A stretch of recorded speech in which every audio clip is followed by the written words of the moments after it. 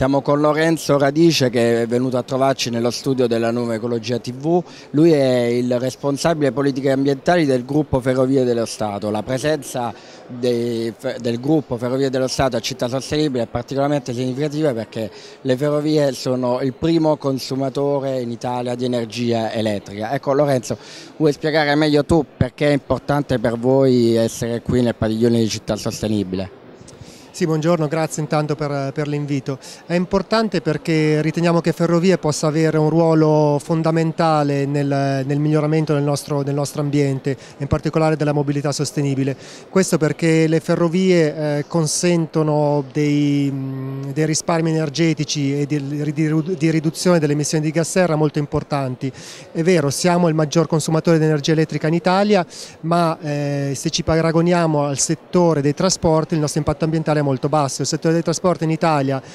ma anche nel mondo più o meno emette circa il 25% dei gas serra rispetto, tutti, rispetto, al totale delle emissioni, ma le ferrovie ne emettono solo il 2% di, questi, di questo 25%. Questo significa che le persone che viaggiano in treno emettono molta meno anidride carbonica rispetto alle persone che viaggiano con l'auto privata o in aereo. Quindi è per questo che, eh, che, siamo anche qua a Città Sostenibile, siamo qua a Ecomondo, per spiegare perché eh, per migliorare l'ambiente, in particolare per ridurre le emissioni di gas serra, il ruolo della ferrovia è fondamentale. Non riusciremo mai a restare nel, nell'aumento di due gradi che si, ci si auspica ci sarà nei prossimi anni per evitare eh, eventi catastrofici, non si riuscirà mai a rispettare questo obiettivo senza il settore dei trasporti e senza le ferrovie in particolare. Quindi è per questo che siamo qua oggi a Ecomondo.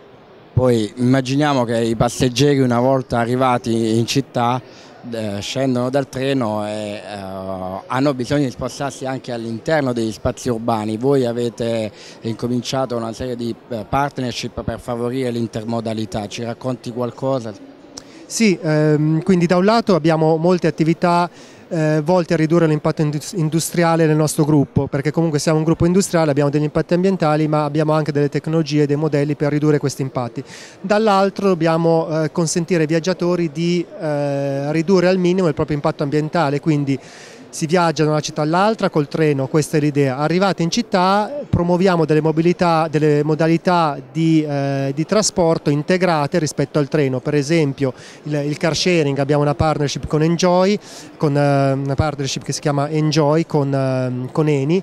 che mette a disposizione dei viaggiatori delle auto in car sharing con le migliori tecnologie e si, da recenti studi si capisce come ogni auto in car sharing che si mette sul, sul territorio se ne tolgano 15 di privati, quindi anche questo è un vantaggio ambientale. Art, altre partnership ancora più virtuose sono quelle per esempio con Clear Channel per il bike sharing, ci sono eh, postazioni di bike sharing a Verona e a Milano di Clear Channel in partnership con, con Trenitalia per promuovere la modalità di trasporto forse più virtuosa in assoluto, il, la bici più il treno, quindi l'idea è se arriva in città senza utilizzare quindi la, eh, la propria macchina ma col treno e si prende la bici per l'ultimo, per il cosiddetto ultimo miglio. Come stiamo facendo anche partnership per esempio con, eh, con Maggiore, per, con EcoRent per veicoli elettrici, quindi si può fare un viaggio virtualmente a emissioni zero prendendo un'auto elettrica per arrivare in stazione eh, a Roma, prendere il treno, viaggiare sempre eh, con, ehm, con, combustibili, con, eh, a elettricità, quindi con una quota di rinnovabili rinnovabili elevata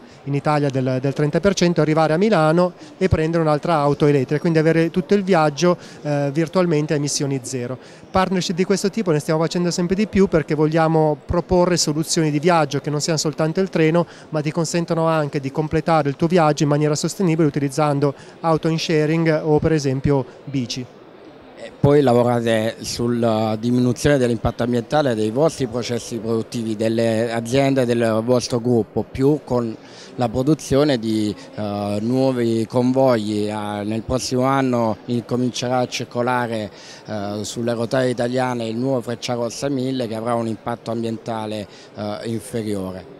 Sì, eh, quindi abbiamo anche l'anima industriale ovviamente e eh, quindi in tutte le nostre attività siamo attenti agli impatti ambientali, a partire dalla progettazione alla realizzazione con eh, Italfer e RFI alla circolazione dei treni. Dicevi che l'anno prossimo sarà sui, sui binari il nuovo Frecciarossa 1000, TR 1000, che è un treno ad alta velocità con caratteristiche ambientali importanti, eh, in particolare relativamente all'efficienza energetica, essendo più aerodinamico e più leggero ha consumi energetici inferiori superiori rispetto a quelli del, del Freccia, eh, dell'ETR 500 attuale tutti i nuovi treni che stiamo mettendo sul, in circolazione eh,